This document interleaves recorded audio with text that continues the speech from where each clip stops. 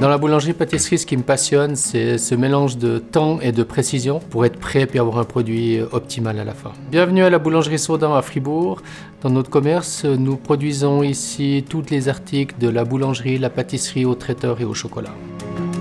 La cuchole, c'est une sorte de brioche qui est relevée avec euh, une pointe de safran et la, vraie particularité, elle est uniquement fabriquée dans le canton de Fribourg. Et d'ailleurs, pour nous, c'est une grande fierté, on a reçu l'AOP depuis deux ans.